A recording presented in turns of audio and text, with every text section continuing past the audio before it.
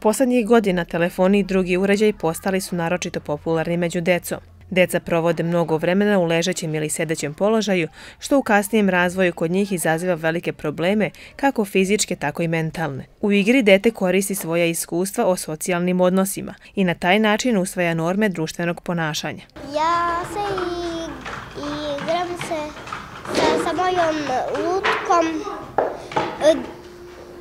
koja je doktorka.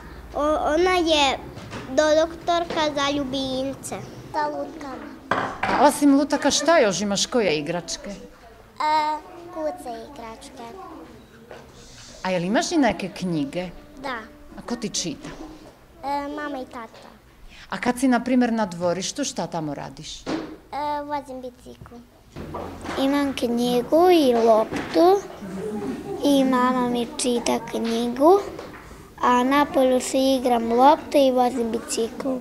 Deca naročito u predškolskom uzrastu intenzivno upoznaju svet i to putem čula. Dete mora da ima stimulativnu sredinu u svakoj fazi razvoja. Kako bi se deca razvijala na pravi način, važno je da budu izložena svim vrstama igre, a to definitivno uključuje i igru sa drugom decom.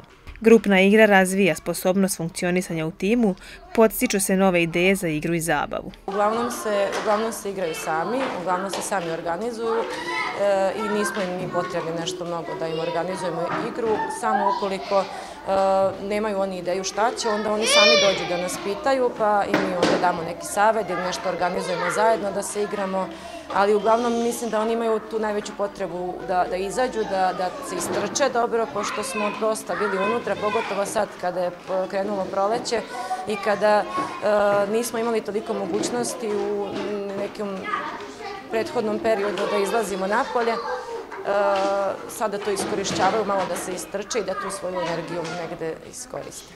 Pozitivni efekti igre na malu decu su daleko osežni i utiče na njihovo celokupno zdravlje.